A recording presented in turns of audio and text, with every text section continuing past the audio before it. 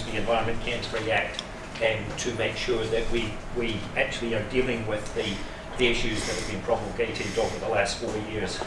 And I would just like to acknowledge the public consultation that has happened, and the absolute commitment of the zone committees, and the entire staff within this organisation, and a commendation uh, that the chief executive should pass on to every single person in this organisation um, in, a, in getting us to where we are today, and also to the chair and to our fellow councillors here.